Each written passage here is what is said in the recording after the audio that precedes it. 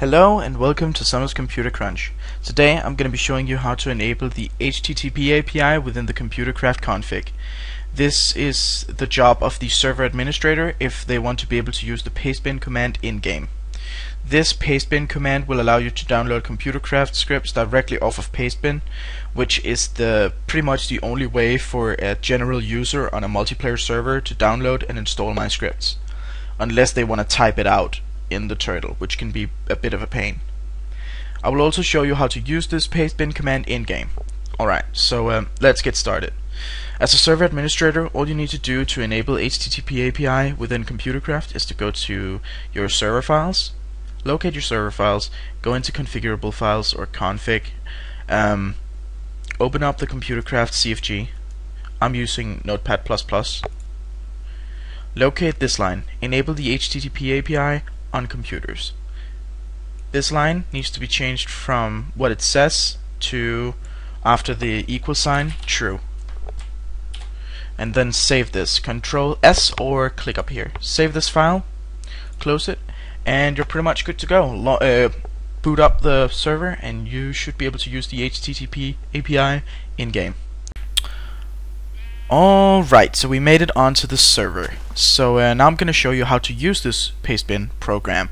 Now, in order to use this paste, uh, pastebin program, you need to have an ID of the program that you want to install. So let me show you how you get that ID. So if you look down in the chat, I've pasted the uh, I've pasted the URL for my branch program on pastebin. The ID of the program you want to download is the last couple of digits here. What you have to do is you have to copy these uh, last after this uh, backspace you need to get uh, this. This is the ID of the program.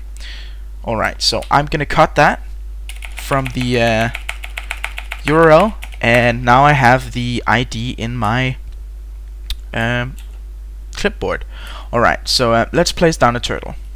The first thing you need to do uh, is optional but recommended. You label your turtle. So what we do is we say label set and um, I have a habit of labeling all my slaves Ertegon 15 so that's what I'm gonna do in this case. Now this computer is named Ertegon 15.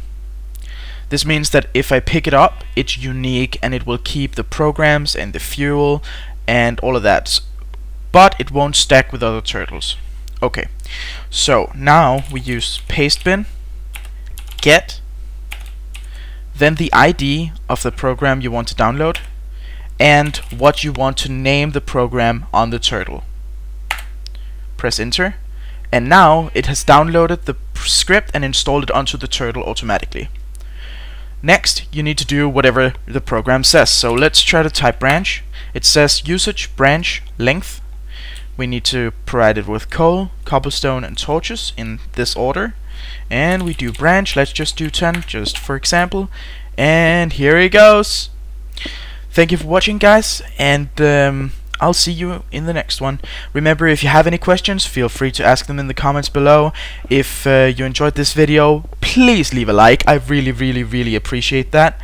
And yeah, as I said, I'll see you in the next one. Bye-bye.